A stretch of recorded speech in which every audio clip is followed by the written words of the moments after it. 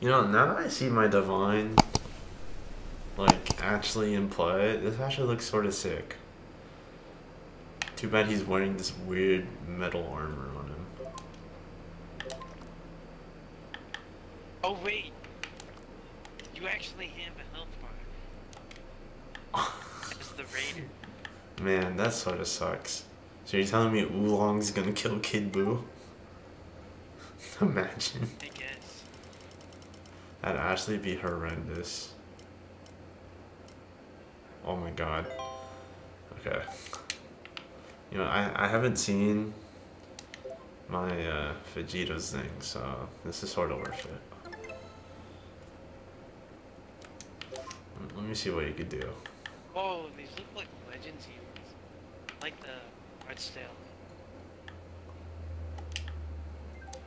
There's art style to it? Oh. Yeah, the um, rated. the rated. I just saw someone get clapped by the freaking um, cocoon sound. Oh my gosh, jeez, what is that? What was that move? I obviously knew that was Final Kamehameha, but what was... Oh my goodness. What move is that? Like caterpillar sound. I don't remember Vegito doing some weird explosion.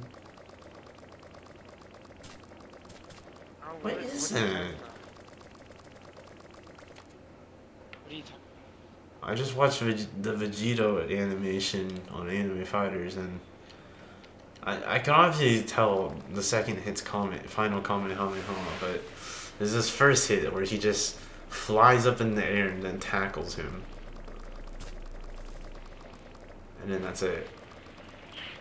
Oh, I have a hole in the armpit of my shirt. I wonder how that happened.